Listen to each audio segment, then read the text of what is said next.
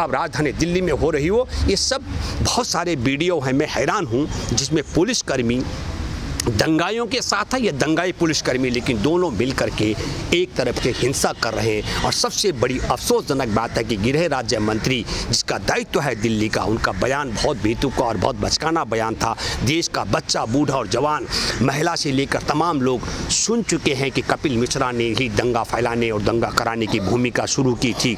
उसके विषय में गृह राज्य मंत्री ने एक शब्द नहीं कहा।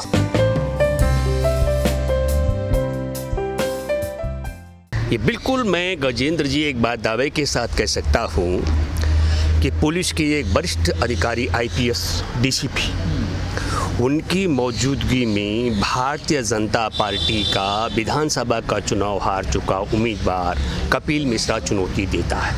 और क्या कहता है? अगर आपने ये सड़कें खाली नहीं कराई, हम कोई शाइन बाग नहीं बनने देंगे और हम सारे रास्ते खाली कराएँगे। आप समझ लीजिएगा इस पूरे सिस्टम को, एक तरफ़ मसला सुप्रीम कोर्ट में चल रहा है साइन बाग की माओ की। और वो सड़क आज दो महीने से ज़्यादा का समय व्यतीत हो चुका है। आपको समझना पड़ेगा। बापू के बताए गए अहिंसा के मार्ग पर जो सत्याग्रह चल रहा है साइन बाग की माओ का, उसके आगे दिल्ली पुलिस, दिल्ली सरकार केंद्र सरकार, शासन, प्रशासन, उत्तर प्रदेश की सरकार लाचार और विवश है। और सुप्रीम कोर्ट भी असमंजक की स्थिति में है। इसको समझना पड़ेगा। इस पूरी प्रक्रिया के पीछे पहले हम अगर नहीं जाएँगे, इतिहास क्या है? हमारे देश में दो चीज़ें।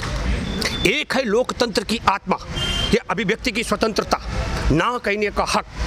जिसको शाहीन बाग की माओं के साथ साथ राजधानी दिल्ली और देश के विभिन्न जगहों पर भारत की माएँ बैठी हुई हैं।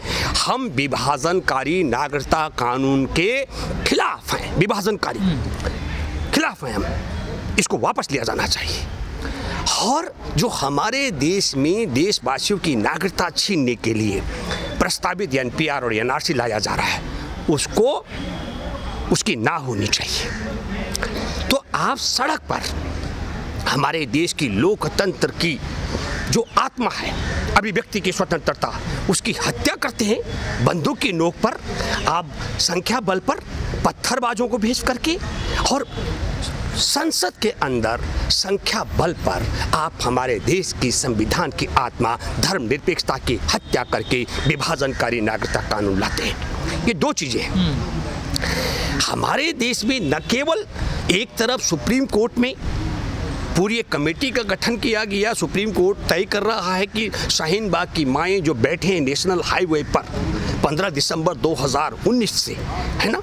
अनिश्चितकालीन जो धरना चल रहा है, कौन सा?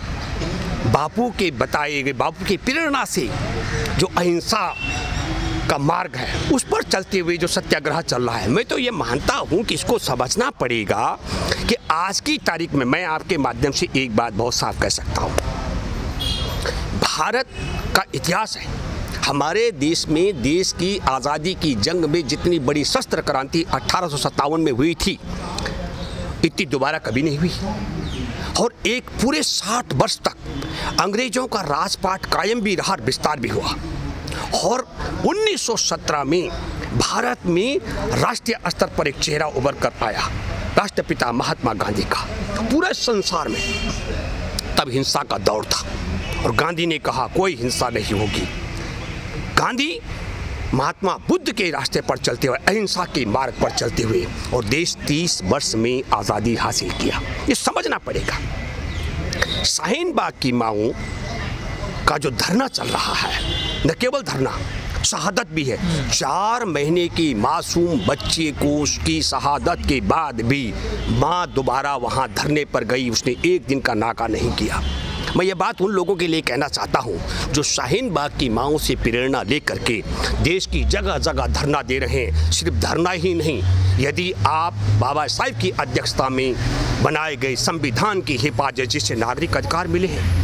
जो नागरिक अधिकार हमारे देश में बड़ी मतलब पिछड़ी जातियों के पास रामायण काल से लेकर महाभारत काल और उसके बाद राजा रजवाड़े बादशाहों के ज़माने में नहीं थे। ढाई सौ वर्ष तक हमारा देश गुलाम था, तब भी हमारे पास नागरिक अधिकार नहीं थे।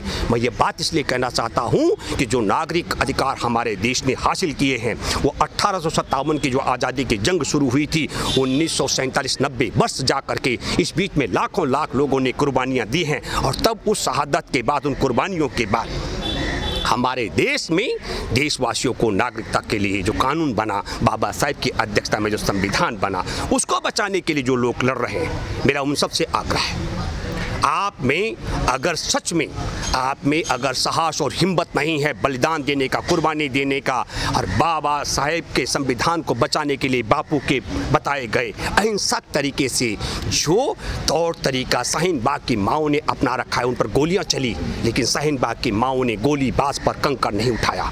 जामिया मिलिया विश्वविद्यालय के बाद छात्र छात्राओं पर गोली चले गोली लगी।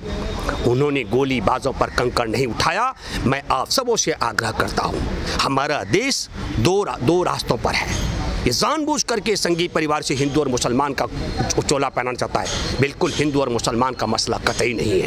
हमारे देश में बाबा साहेब की अध्यक्षता में बने बने संविधान को बचाने का और संघ के विधान को लागू कराने वाली ताकतों के बीच में हमारा देश है। तो जो संविधान को बसाने वाले लोग हैं, उन सबको शाहीन बाग की माओ की तर्ज पर जितनी मर्ज़ी लाठियाँ, जितनी मर्ज़ी गोलियाँ ये दागते हों, ये आप समझ लीजिएगा, इन्होंने संसद में संख्या बल के बूते हमारे देश के संविधान के आत्मा धर्मनिरपेक्षता की हत्या करके विभाजनकारी जो नागरिकता कानून बनाया है और सड़क पर हमारे देश की जो लोकतंत्र की आत्मा, अभिव्यक्ति की स्वतंत्रता, ना कहने की स्वतंत्रता हक है, उसको मिटाने के लिए ये बंदूक, गोलीबाजी, पत्थरबाजी और आगजनी कर रहे हैं जान से मार रहे हैं। मैं आप सब लोगों से आग्रह करना चाहता हूँ।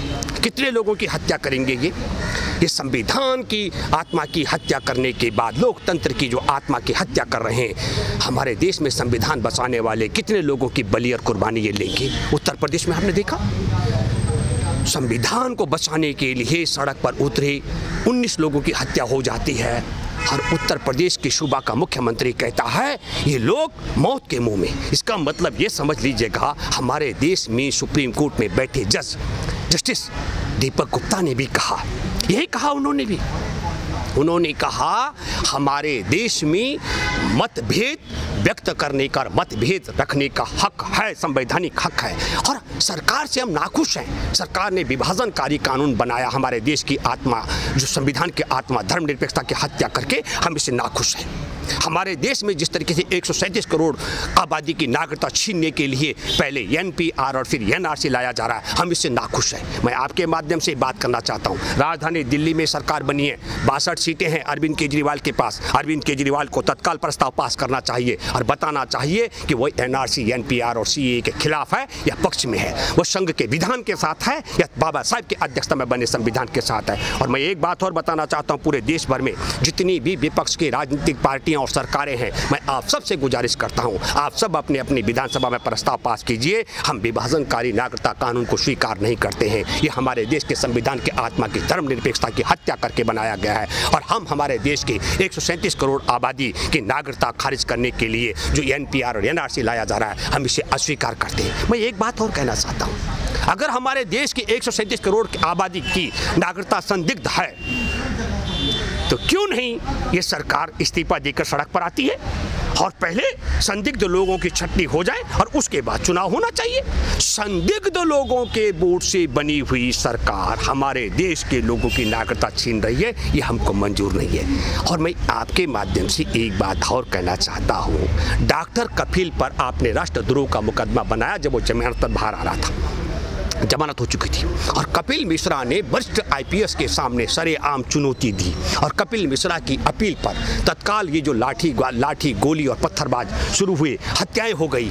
दिल्ली में हेड कांस्टेबल, बयालीस साल का युवा हेड कांस्टेबल की हत्या हो गई। उनका बताओ, क्या दोस्त था तो बुखार में पीड़ित थे? आप समझ रहे हैं ना?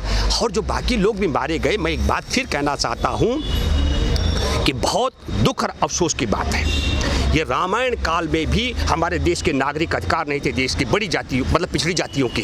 और महाभारत काल में भी नहीं थी, इसीलिए महर्षि वाल्मीकि को डकैत बताया गया और महाभारत काल में एकलव्य का अंगूठा कटाया गया। और जिन जातियों ने तब नागरिक अधिकार नहीं कायम होने दिए थे, वो आज परेशान है बाबा साहेब की अध्यक्षता में बने संविधान का। और इसलिए वो संविधान को खारिज करा करके नागरिकता जो अधिकार हैं, उनको छीनने का षड्यंत्र कर रहे हैं। लेकिन मैं देशवासियों से एक और आग्रह करना चाहता हूँ, जो संघ परिवार के विधान को लागू कराने के लिए बहकावे में सी ए एन आर सी और एन पी आर के पक्ष में सड़क पर दंगा कर रहे हैं। उन सब युवा बालकों से बताना चाहता हूँ, आपको सोचना पड़ेगा, क्यों नहीं अमित शाह अपने बेटे को दंगाइयों के बीच में भेज रहा है? क्यों नहीं राजनाथ सिंह अपने बेटे को दंगाइयों के बीच में भेज रहे हैं? ये सोचने और समझने की बात है। मैं बधाई देना चाहता हूँ राजधानी दिल्ली के सात सांसदों में से एक है, गौतम गंभीर, जिन्होंने चुनौती देकर कहा, जो अपराधी हैं उसको जेल में डाला जाना चाहे चाहे वो कपिल मिश्रा और कोई और क्यों ना हो। हर सत्तर एम के मुँह पर तो मुझे लगता है जैसे दही जम गई उनकी हिम्मत नहीं पड़ रही है।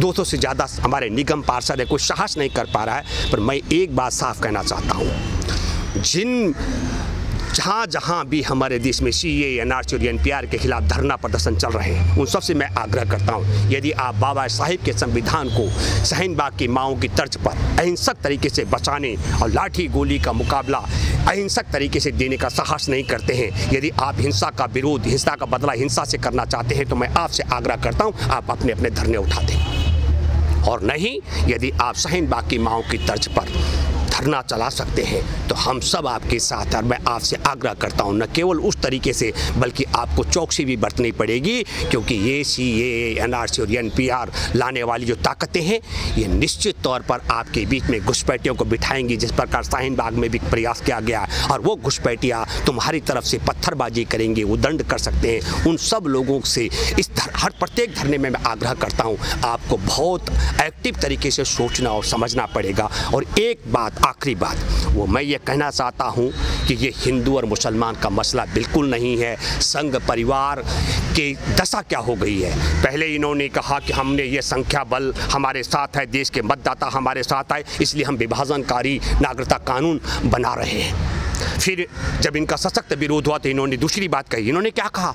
इन्होंने कहा कि हम देश में मिस कॉल मारेंगे और मिस कॉल के लिए भारतीय जनता पार्टी ने दावा किया था। इनके नवनियुक्त अध्यक्ष ने कि हमारे 18 करोड़ का कार्यकर्ता हैं और 18 करोड़ सदस्य में से मुश्किल 50 लाख लोगों ने मिस कॉल मारी। 17 करोड़ 50 लाख भारत में जो भाजपा के कार्यकर्ता हैं, उन समर्थक कार्यकर्ताओं ने सी और एन पी को जो इनका विभाजनकारी नागरिकता कानून और देश के नागरिकों की नागरिकता छीनने का जो षड्यंत्र है, उसको खारिज कर डाला। साढ़े सत्रह करोड़ भारतीय जनता पार्टी का कार्यकर्ता इनके खिलाफ है। और दिल्ली में भी इनके बासठ लाख मतदाता हैं, जिनमें बमुश्किल पैंतीस लाख लोगों ने इनको वोट दिया।